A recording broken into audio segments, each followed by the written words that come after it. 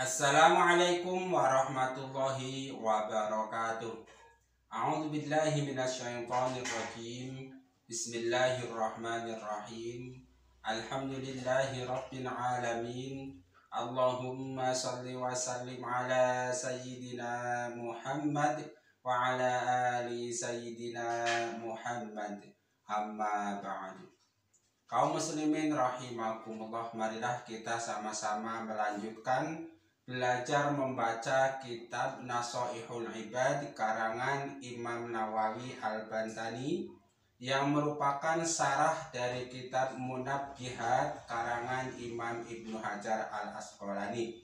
Kali ini kita sampai pada bab ketiga makalah nomor 13 pada makalah nomor 13 ini, Imam Ibnu Hajar Al-Asqalani menuliskan wa anil Hasan Al-Basri radhiyallahu anhu man la adaba lahu la ilma lahu wa man la sabra lahu la dina lahu wa man la wara'a lahu la zurfa lahu Barang siapa yang tidak mempunyai adab, maka dia tidak punya ilmu yang sempurna.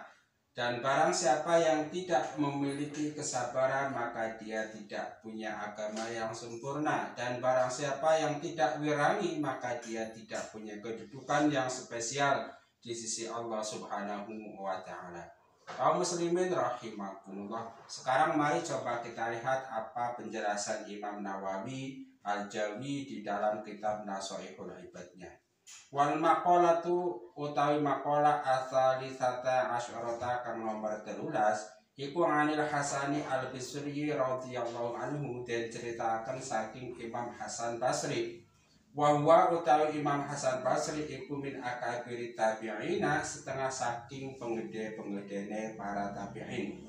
Di penglitikane Imam Hasan Al Bisri man la ada balahu man utai sapa dewe kula ada balamun ora na odab iku maujud lahu kadwe man ma'alai sartane Gusti Allah wa ma'al khalqi sartane makhluk la ilma mengkorona ilmu iku maujud lahu kadwe man yuk tadu kang den hitung-hitung apa ilmu bihi kadwe man jadi begini ketika seseorang tidak punya adab baik bersama Allah maupun bersama makhluk maka orang tersebut tidak memiliki ilmu yang diperhitungkan artinya setinggi apa pun ilmu seseorang ketika kita tidak beradab baik bersama Allah maupun dengan sesama manusia dan makhluk lainnya maka ilmunya tersebut masih bisa dibilang sedikit atau remeh. Selanjutnya waman la sabra lahu wa man uta sabra la sabra ora ora ono kesabaran iku maujud lahu kateman ala tahammulil balaya ing atase nanggung bilai wa adal khalqi lan pilarane makhluk wa ala masyaqqati istinabil ma'asi lan ing atase masakote ngedoi maksiat wa ala ada il faraidi lan ing atase nglakoni pira-pira kewajiban. Ladina mongko ora ana agama iku mujud lahu kadwe man tatu kang den hitung apa din bihi kelawan man. Jadi begini. Orang yang tidak punya kesabaran maka agamanya itu tidak akan pernah sempurna. Dengan kata lain, salah satu sebab sempurnanya agama seseorang itu harus punya kesabaran. Lalu kesabaran itu ada tiga ada sabar ketika menghadapi bilai, ketika menghadapi ujian dan makhluk lainnya. Lalu yang kedua, sabar ketika menjauhi maksiat. Dan yang ketiga, sabar ketika melakukan ibadah. Nah, ketika melakukan ibadah pun kita membutuhkan kesabaran. Misalnya terkadang kita mau berangkat sholat berjamaah ke masjid, waktu hujan, apa panas dan lain-lain dibutuhkan kesabaran ketika mau beribadah. Lalu ketika kita menjauhi maksiat pun butuh kesabaran. Dan yang ketiga, ketika kita menghadapi orang lain atau ujian atau musibah juga dibutuhkan kesabaran. Saya ulang lagi, mau yaitu bab ketiga makalah nomor 5 nomor 13 Man la adab lahu la ilma lahu. Barang siapa yang tidak punya adab Maka tidak punya ilmu yang diperhitungkan.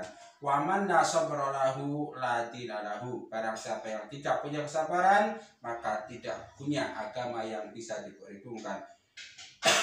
Wa man la wara'a lahu la zulfa lahu. Barang siapa yang tidak punya wirai maka dia itu tidak punya kedudukan yang dekat dengan Allah Subhanahu wa taala. Wa man utai sapada wa kula warung lamun ora ana wirani iku mawujud lahu kadue man nganil maharim saking ngetuwe perkara kang haram wa subhat lan perkara kang subhat la zulfa mengkarana kedudukan iku mawujud ing dalam sisi Allah lahu kadue man. Ailam marat ai martabata tegese ora ana martabat iku maujud tahu katu iman indallahi munggu Gusti Allah wala qurbatan ora kepada kana katu iman minallahi saking Gusti Allah. Jadi kalau kita ti, belum bisa menjauhi perkara yang haram dan belum bisa pula menjauhi perkara yang subhat, maka kedudukan kita di sisi Allah Subhanahu wa taala itu tidak spesial. Dengan kata lain, orang wirangi adalah orang yang menjauhi perkara haram dan juga menjauhi perkara sub subhat. Mudah-mudahan bermanfaat. Jangan lupa like dan subscribe channel ini Rabbana taqabbal minna innaka antas samiul alim wa tub alaina innaka antat tawwabur rahim subhanakallahumma wa bihamdika asyhadu an la ilaha illa anta astaghfiruka wa atubu ilaik wa na'afa minkum wassalamu alaikum warahmatullahi wabarakatuh